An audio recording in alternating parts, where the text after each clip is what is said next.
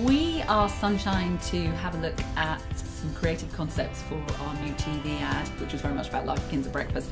We had a chat with Nexus, and Conor's work was shown to us. It was just a beautiful marriage of craft, which is something that Dorset's so well known for. It's cool to get to design so many characters, just the amount of detail, the textures, and all handmade. CGI never seemed right to put Dorset out because it would have suddenly felt artificial and fake. But this beautiful technique of actually building everything out of real materials and wool was a really good way of bringing it to life. Got given storyboards that were very graphic and it pretty much matches it identically. Conor said to make it like this and we made it like that 100%.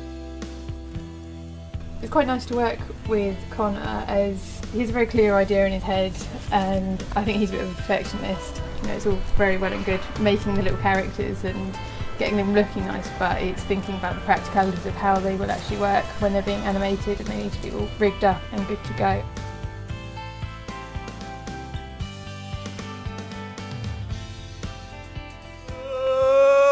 Morning, Britain. You're listening to It's the Dawn Chorus is Mike, he's a DJ. He kind of wakes up all the animals. Kind of the vision of Good Morning Vietnam, this kind of animated bird who's just playing tunes and everyone's getting up and we're cutting our way to squirrels and mice. It had to all be something that you could see in Dorset, so foxes, hedgehogs, that kind of thing, and bringing them to life with sort of human characteristics. Mm.